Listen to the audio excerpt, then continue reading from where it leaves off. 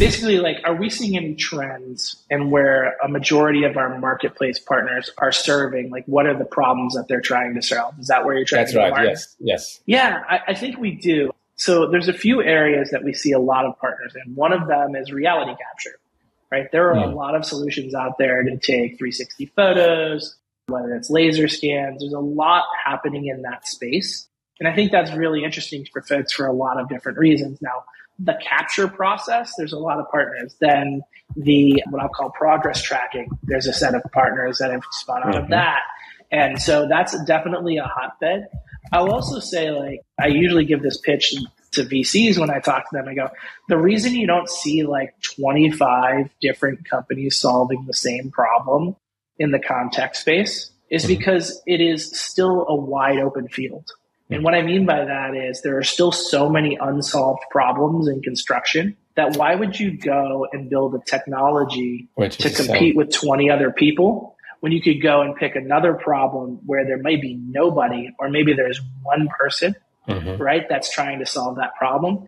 And so this has really actually been an interesting thing to watch over the last several years because we've seen the fact that the people are, are jumping onto new problems instead of it getting too competitive in one specific space, mm-hmm. which just means that we're able to cover more ground. So we're seeing a lot of things pop up in pre-construction.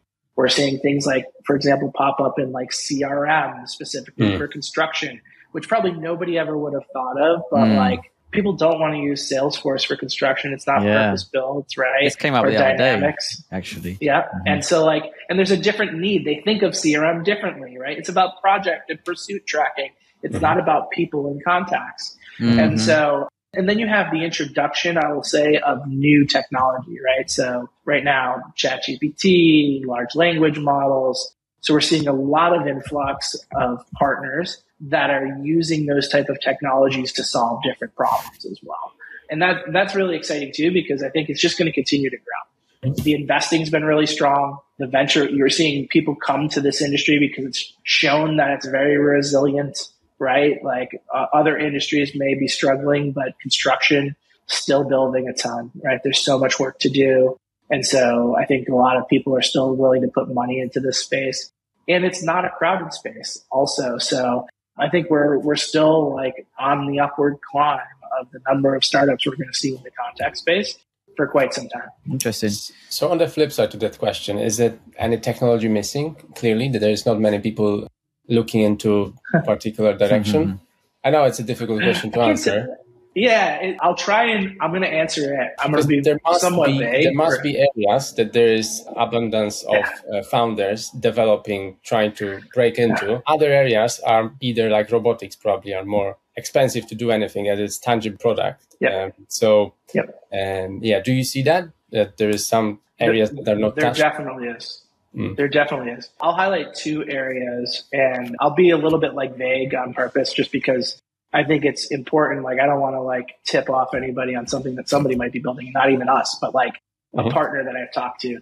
I think there's still a tremendous amount of green space, white space, call it what you want, in pre construction, mm. right? We are seeing a big upward trend in the importance of pre construction. And we are seeing a big upward trend in the need to do things prior to starting a project.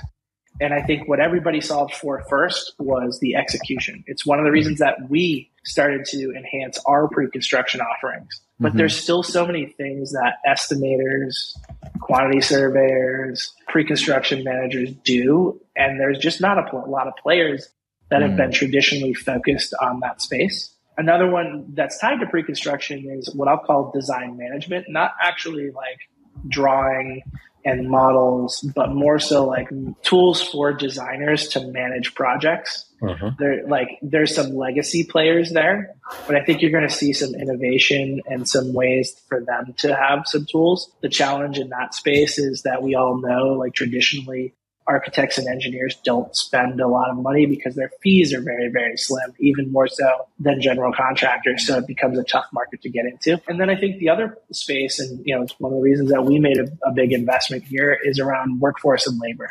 I still think that it is a very underserved area of construction. There's some really good solutions out there, but there's not enough of them.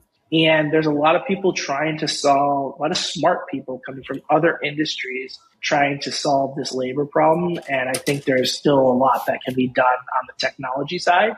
We have a lot of work to do as an industry on the recruitment and the retention and those kind of things. Mm-hmm. But there's going to end up being more and more tools that are geared towards the workforce in the long term, uh, in my opinion. And then, yeah. yeah. robotics is super popular, artificial intelligence super popular. So we're seeing all kinds of solutions pop up around that. And then sustainability, right? I think that's a space that until probably the last year and a half or two years was incredibly underserved. We've seen a lot of people enter that space in the last uh, couple of years. Yeah, the way you describe it sounds like there's still a ton of opportunity out there. I think pre-construction yeah. is like where a project is actually made or broken. Like if you get it all wrong, and people often rush to pre-construction, that's what you inherit the problems during construction, and that causes all the headaches. Yeah, which technology, I'm not sure there's a solution out there to uh, resolve yet.